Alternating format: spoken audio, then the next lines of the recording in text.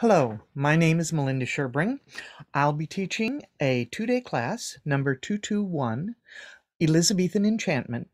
It will be on Tuesday, sorry, on Wednesday and Thursday, August 24th and 25th at the EGA National Seminar in New York City. It is an intermediate level class using some characteristically Elizabethan stitches that you may or may not have encountered before. It looks like this.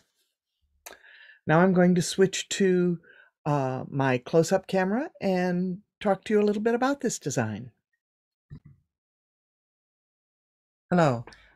This is a photograph because the lighting caused the original one to sparkle too much to be able to see much at all. This project features some Old World and New World design elements. The Old World is represented by the pomegranates, irises, anonymous yellow uh, flowers, the leaf styles, and having a very 16th century style overall layout, along with birds and a lizard. The New World design elements come from the anonymous yellow flowers being modeled after squash blossoms. The lizard being a whiptail lizard, most notable for being a parthenogenic, that is, female-only species, and the bird being a roadrunner.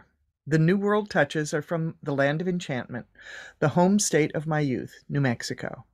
If the Roadrunner doesn't speak to you, I've also included information on making them peacocks with closed tails.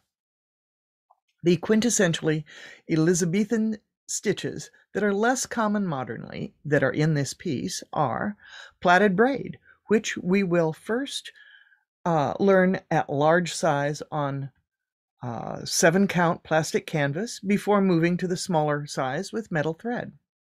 Squiggle stitch. You won't find this one in a book. I found it in a single historical piece, and I thought it was just too much fun to lose it in the in the mists of time. Ceylon stitch. A versatile stitch that appears several places on this piece with different treatments. Corded detached buttonhole, uh, also known as corded Brussels stitch, is used as a filling as is corded lark's head stitch, uh, another filling stitch that you may or may not know as up and down buttonhole with straight stitch return. There's also several other more common stitches, chain, woven wheel, also known as woven spiderweb, French knot, stem, satin, and straight stitch. I expect that intermediate stitchers will have at least a passing familiarity with these, though we will review them in class.